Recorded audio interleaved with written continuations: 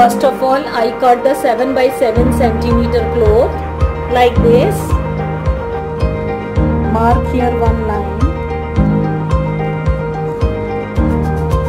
Now you have to see I mark here one line.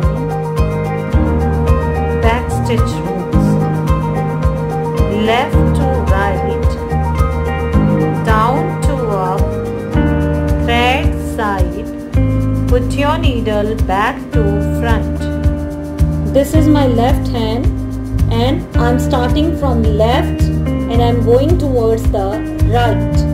Now second rule is down to up, left side down to up. I bring out my needle. Now third rule is thread side. I keep my thread right hand side.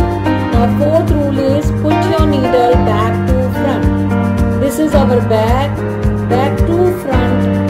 I bring out my needle like this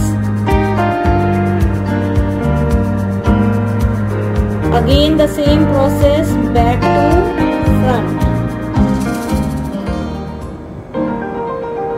Again the same process back to